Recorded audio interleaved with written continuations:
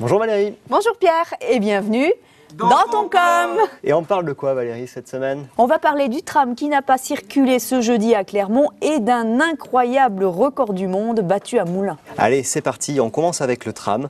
À la suite de plusieurs agressions, les salariés de la T2C ont fait valoir leur droit de retrait. Résultat, ni bus ni tram à Clermont ce jeudi et des usagers forcément pas contents. Comme Midou qui nous dit Toute chose est une bonne excuse pour ne pas travailler, faut arrêter quand c'est pas la grève, c'est les agressions.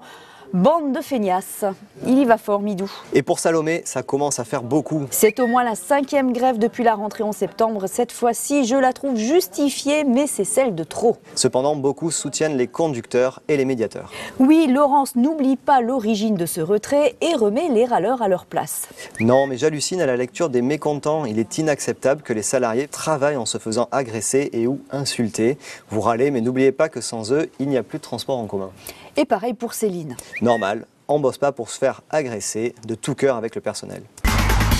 Allez, on change de sujet, place à un exceptionnel record du monde battu ce week-end à Moulins. Et oui Valérie, savais-tu qu'il était possible de rassembler 332 dépanneuses dans une ville? Mais à vrai dire, je m'étais pas vraiment posé la question avant d'aller à Moulins faire ce sujet, où effectivement le record du monde du plus grand défilé de dépanneuses a été battu.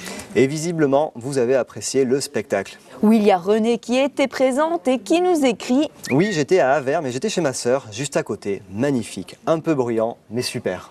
Pareil pour Julien qui interpelle ses amis en leur disant Là, je retire toutes les méchancetés que j'ai pu dire sur cette ville. C'est ultra branché en fait, Moulin. Cela dit, je pense que c'est un petit peu ironique avec le smiley et il y en a d'autres qui sont un petit peu moqueurs. Comme Arnaud qui nous dit un record d'une nécessité absolue.